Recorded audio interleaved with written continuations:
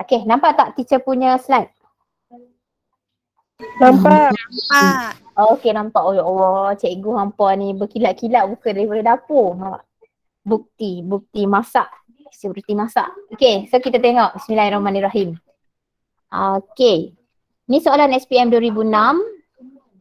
Raja tiga menunjukkan susunan radas dalam satu eksperimen. Boleh teacher tahu ini apa nama proses dia? Proses apa ni? Bila ada satu kunci, ada satu logam yang kita tak tahu siapa nama dia. Ha, apa nama proses ni? Penyaduran. Ha, penyaduran nampak. Proses penyaduran. Proses penyaduran ni dia menggunakan konsep sel elektrolitik. Kalau teacher ulang balik, bab lima elektrokimia, bab lima elektrokimia dia terbahagi kepada dua. Iaitu pertama sel elektrolitik dan kedua sel kimia. Itu saja. Nampak macam susah benar. Tapi dua sel je kita belajar. Sel elektrolitik dengan sel kimia. Yang mana sel elektrolitik dia ada ada bateri. Okay, kalau siapa nak tahu lagi lebih jelas kupas dalam dalam dalam tengok video yang teacher attachkan link yang dekat dalam dalam group semalam teacher bagi ada dua jam. Okay, yang tu memang cerita daripada A sampai ke Z macam mana daripada anode ke cathode. Anode ni dia mendermakan elektron, dia mem, apa menipis. Kemudian yang cathode ni ion dia akan menyahcas, dia akan menebal. Ha, okay, so bila kita kata sel elektrolitik dia ada bateri, perubahan tenaga dia apa dia? Apa perubahan tenaga? Ini teacher suka ulang-ulang sebab soalan dalam sains suka tanya soalan ni. Apa perubahan tenaga dalam sel elektrolitik?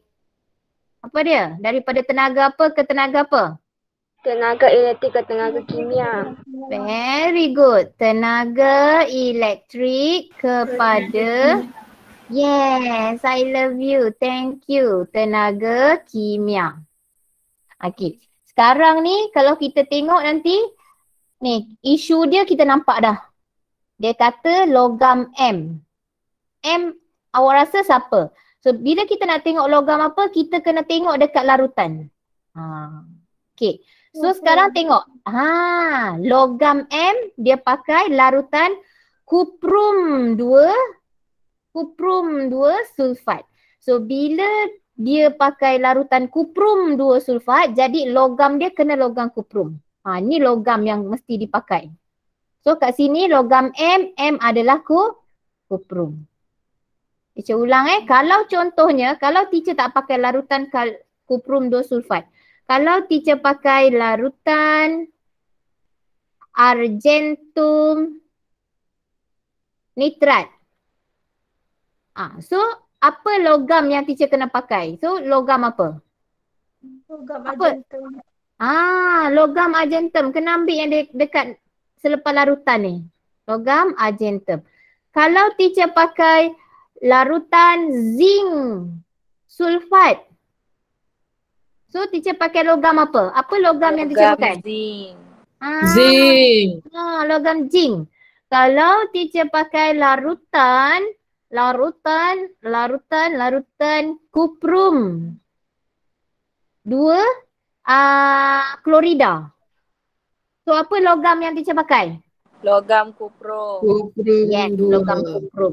Cuma kalau kita kata logam, bila kita sebut logam jangan salin dia punya nombor ni. Kalau logam dia tak ada nombor. Kalau larutan baru ada nombor.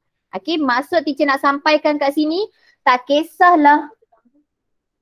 Baik-baik tak kisahlah uh, larutan apa ni belakang dia klorida ke sulfat ke uh, nitrat ke apa ke yang penting logam dia mesti nama yang uh, selepas perkataan larutan ni. Ha, jenis logam dia.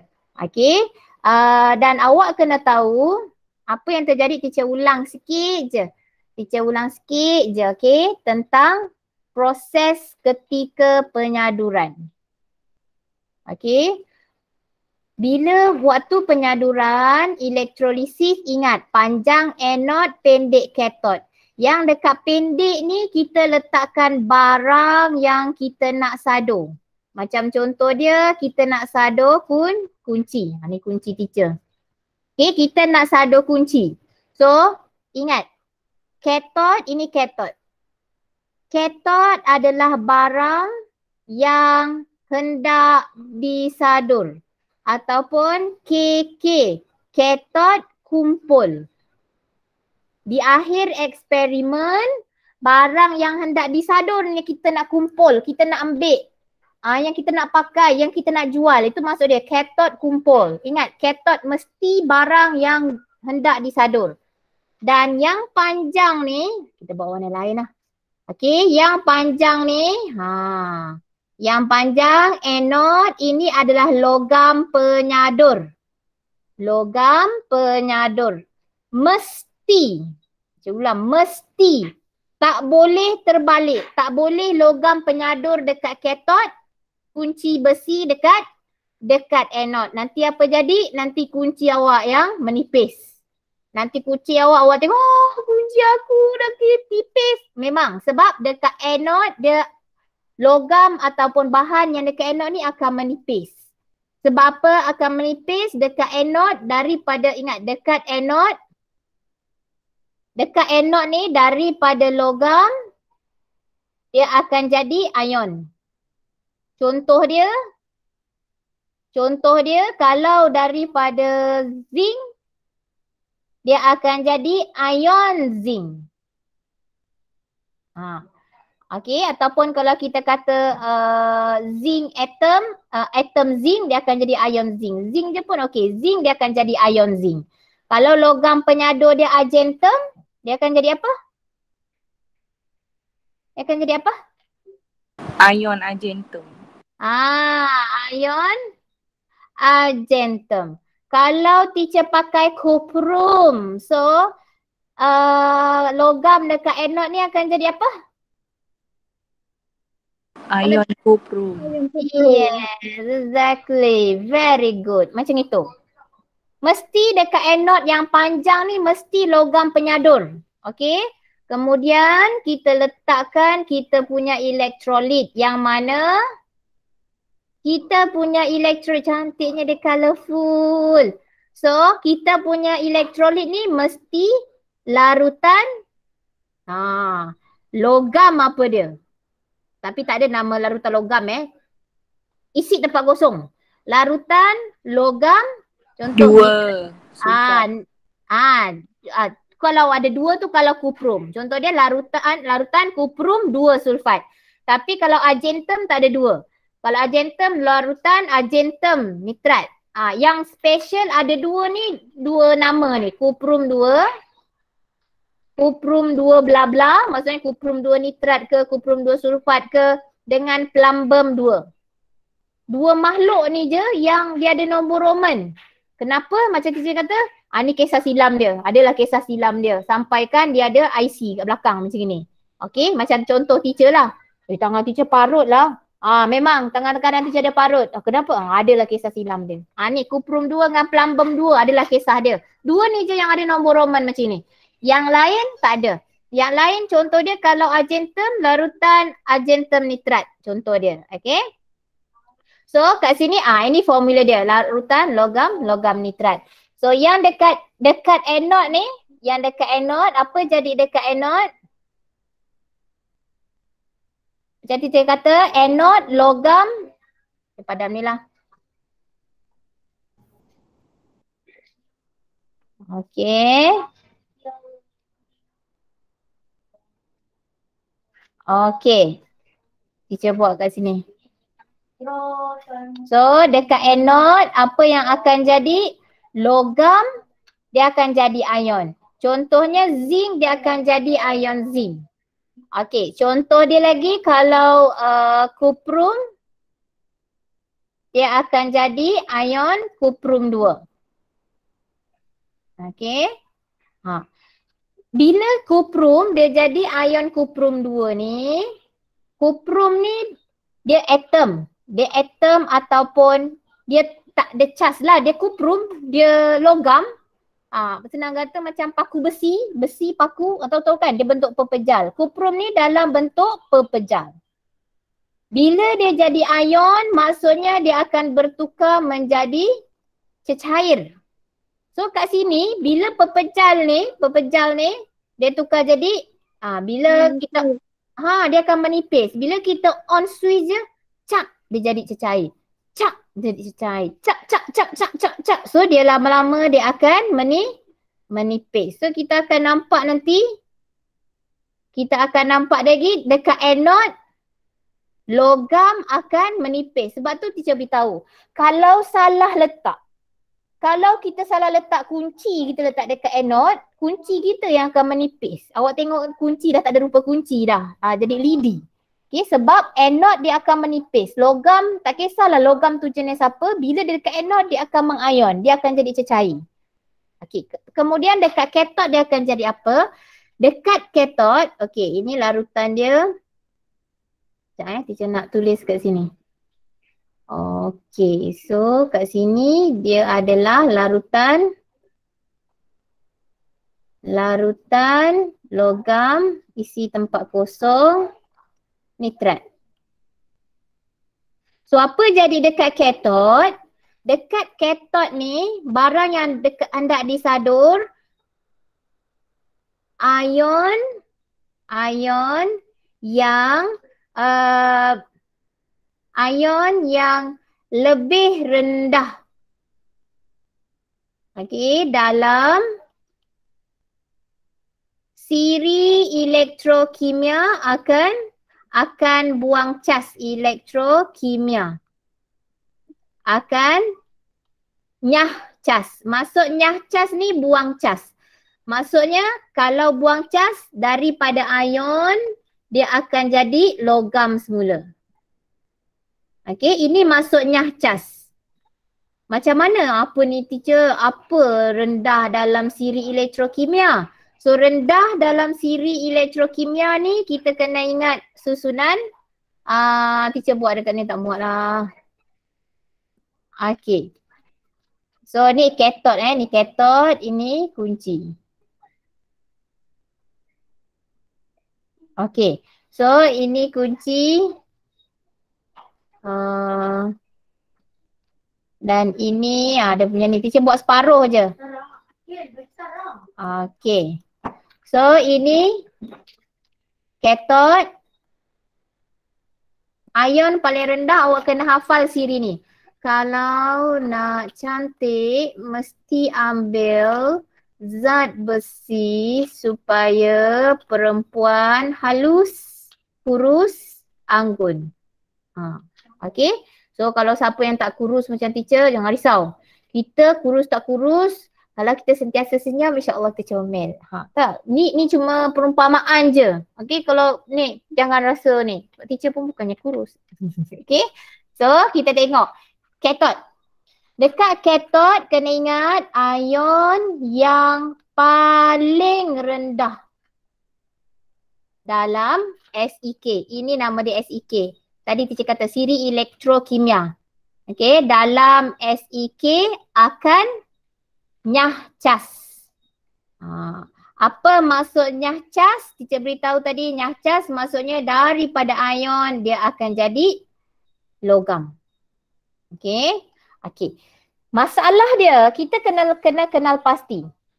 Siapa ion yang ada dekat sini? Ha, tu dia yang key yang pertama, keyword yang pertama yang awak kena kenal pasti.